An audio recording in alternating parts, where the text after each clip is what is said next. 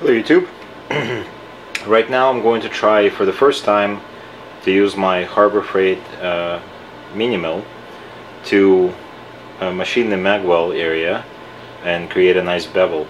Uh, basically it's a very thick frame so I've already positioned the cutter so that it's in the center of the frame um, by using one of the edge finders and I am thinking that I can push the magwell uh, bevel a little bit into the mag uh, into the mainspring housing. So we'll see how that looks. Sorry for the light. Um, here I'm just trying to find the depth I want the magwell to extend to. And uh, the goal was basically to try and extend to almost the edge of the frame. Final pass.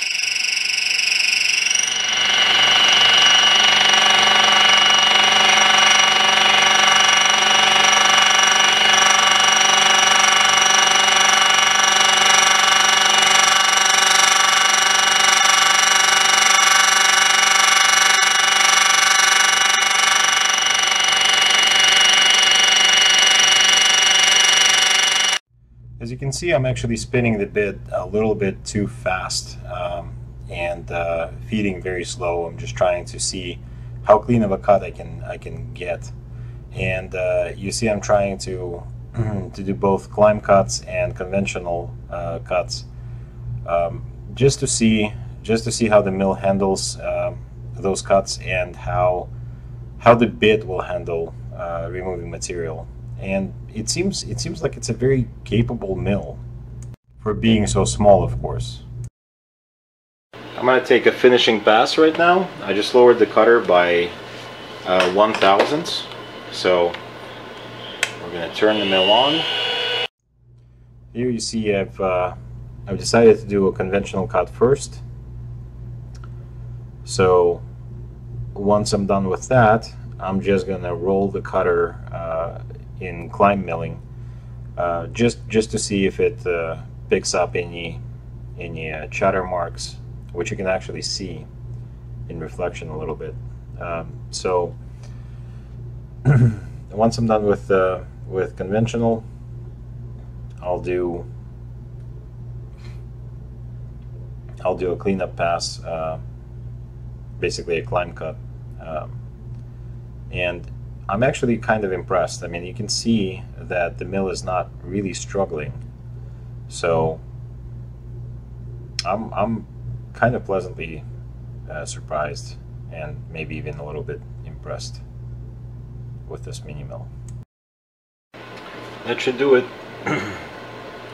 uh, now by hand I'm going to clean up the front and uh, just smooth everything and roll the edge in um, but that should be done. Alright, so I cleaned everything up. Here's what we're looking at. Let me zoom you in.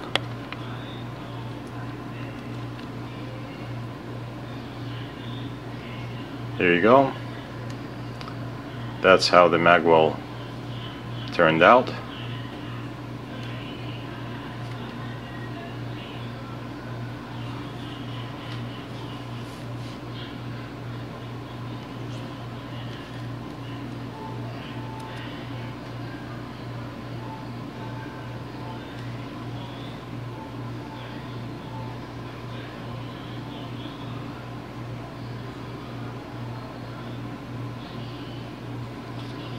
Uh, there's just a few sandpaper marks.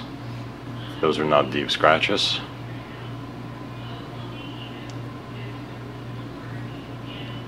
So, little chatter we can see right there. But overall, it's not bad.